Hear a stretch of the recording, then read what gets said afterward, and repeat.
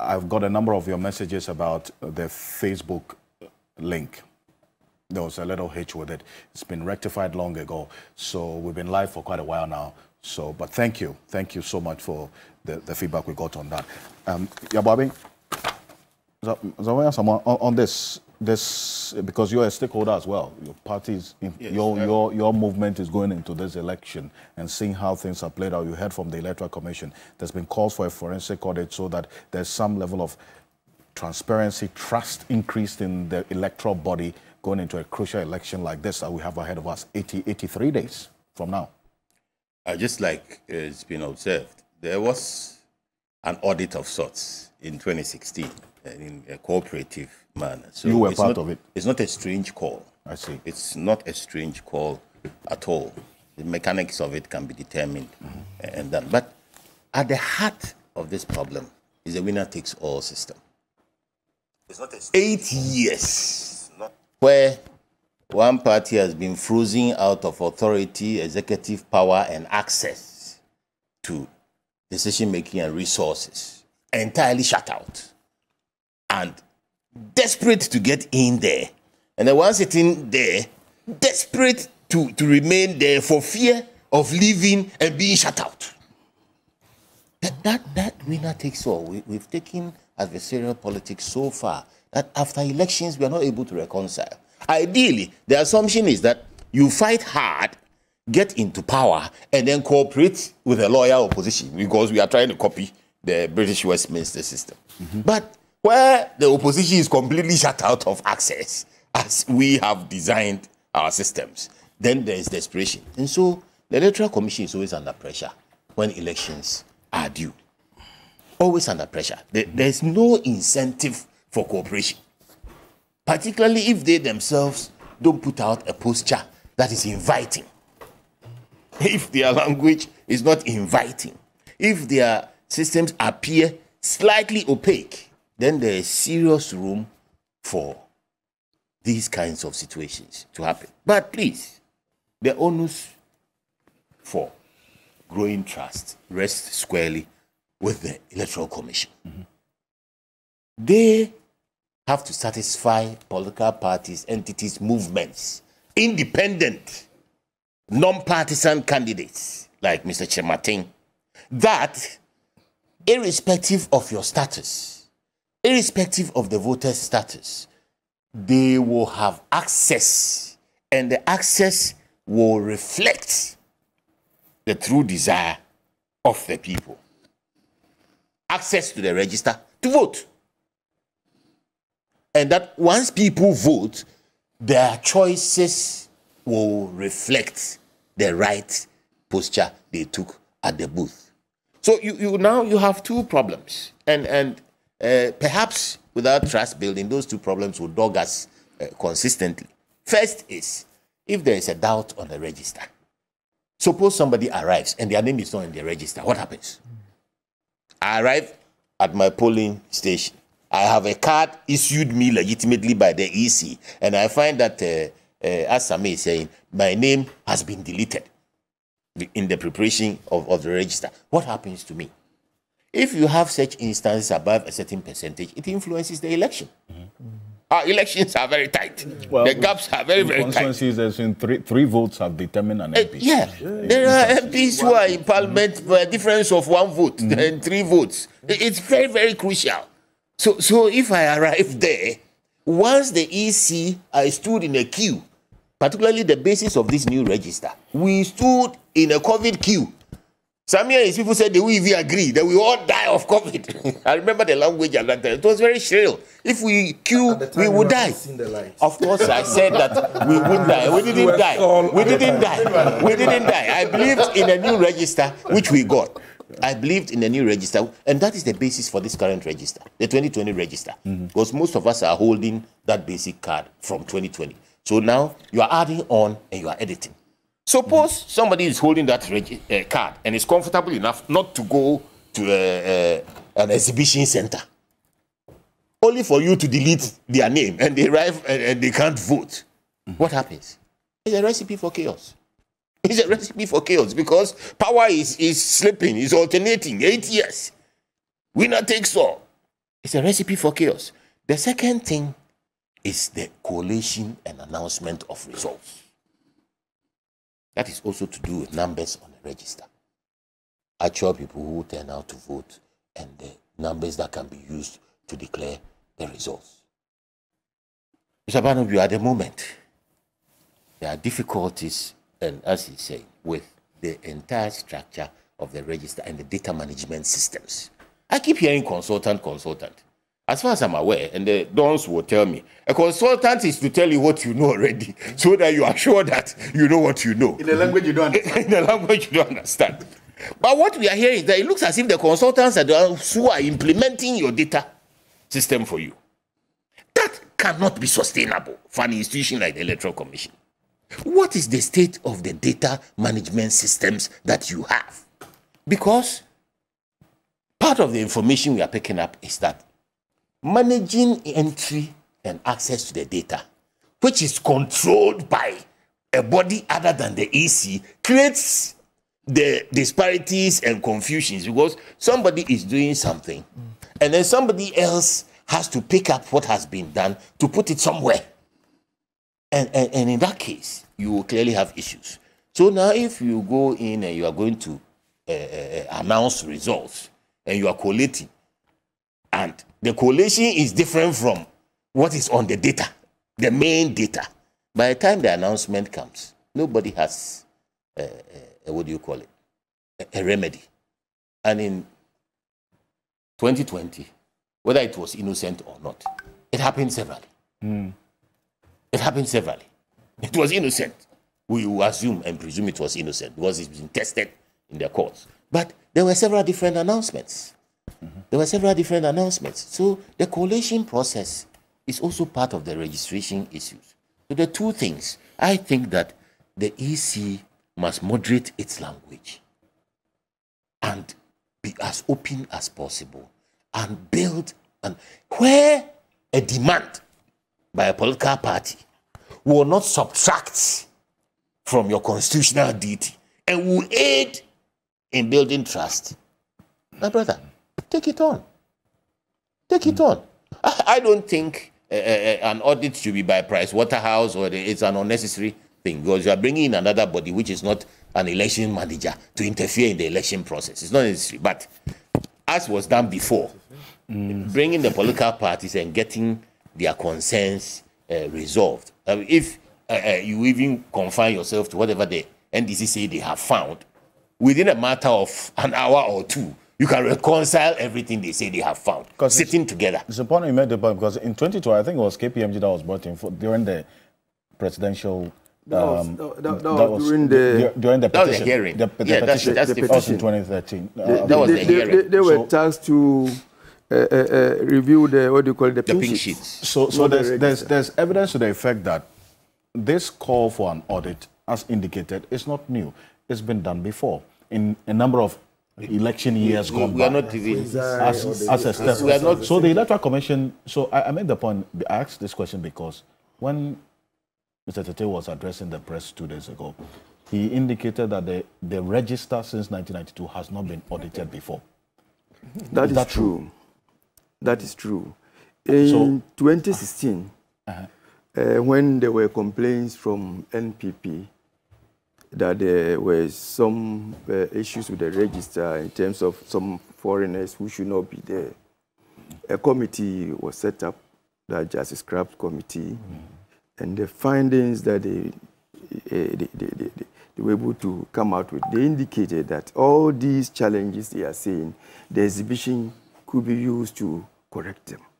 So there was not an audit like they took the register to check the. Now we are done with the exhibition. But, but, but the exhibition system is not a resilient check. That is no, what. Even in the that is what they recommended. They spoke about validation. It is, it is, yes, that is what what they recommended. we did the exhibition, all right. It, it doesn't stand up to the test. So, no, hold on, hold on, hold on. So, I think you should tell Ms. Abano Bill to look around this table. Look around the table.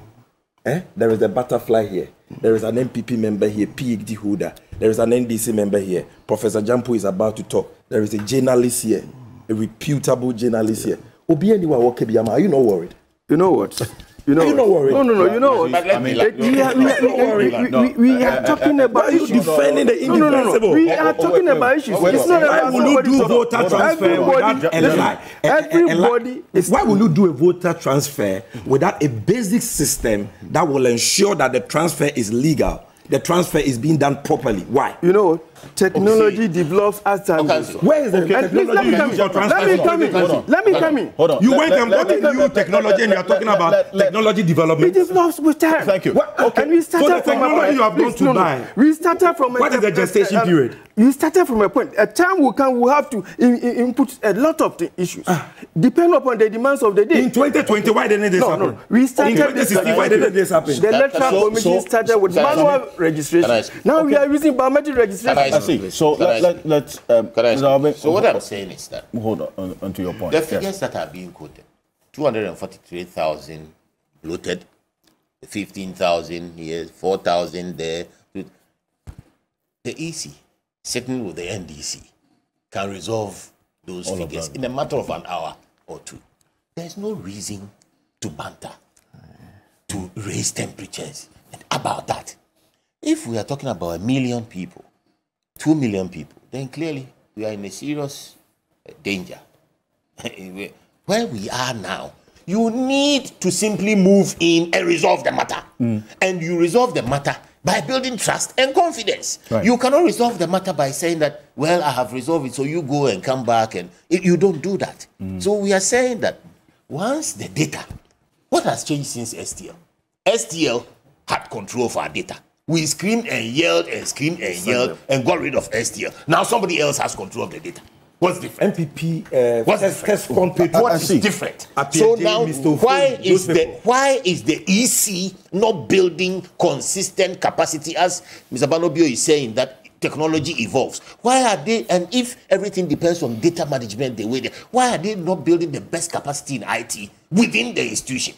To manage themselves, why are they relying on externalities and consultants and this and this and creating all this doubt? Because eh, the data can be manipulated. Let's face it if an outside authority has access and you vote, that authority with access to the data can give you a result that's not your vote. And by the time that happens, it's too late. That's the second responsibility the EC has. You have the data.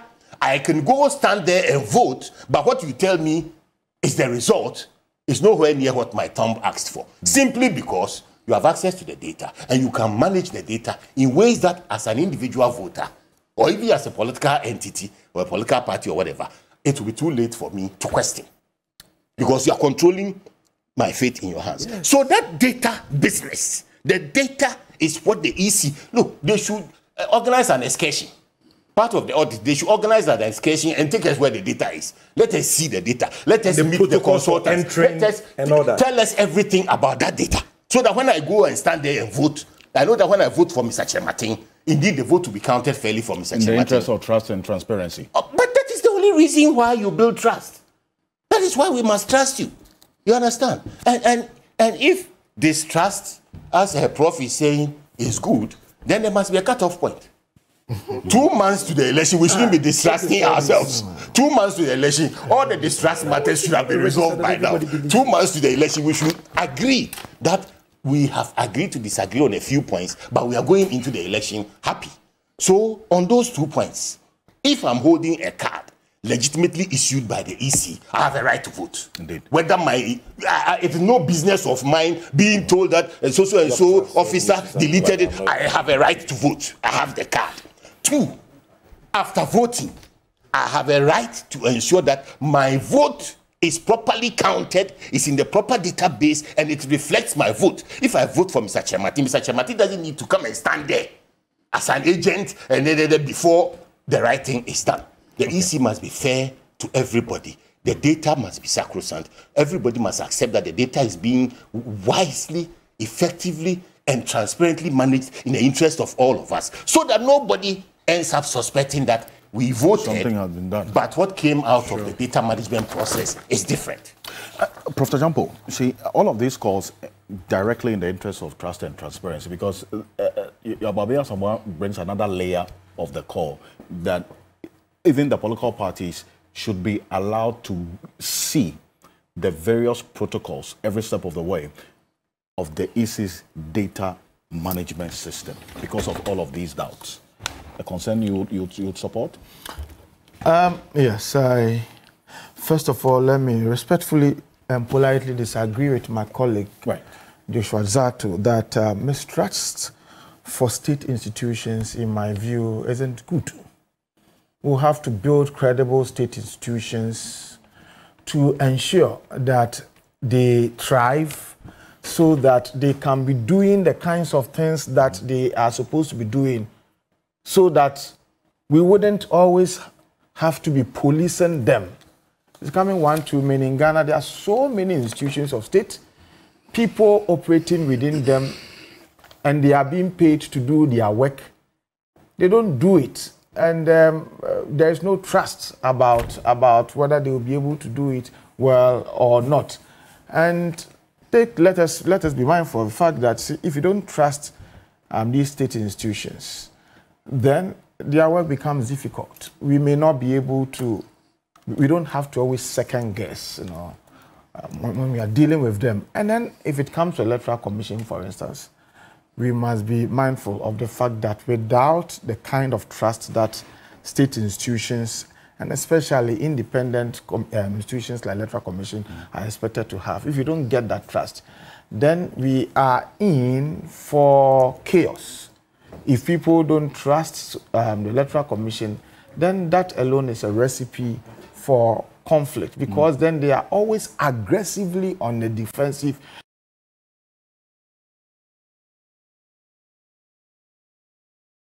Um, in, in monitoring the kinds of things that they do. That's why I've always spoken about public trust deficit in some of these state institutions and advocated the, for the need for the, um, the challenge of trust deficit to be um, addressed.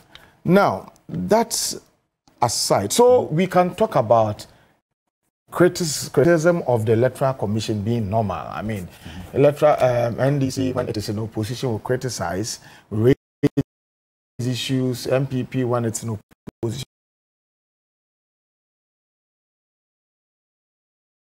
will criticize and raise issues. I think these are normal. But we should never create an impression that um, mistrust in these institutions are good elsewhere um, that um, he studied before, I've studied before. State institutions are trusted. You mm-hmm. can just go to sleep knowing that um, the, the right thing will be done. Mm-hmm. Who mails, who can mail his passport here in Ghana using the PO box system? You cannot do it. We don't trust the postal address system. But elsewhere, somebody can write you a check and post it.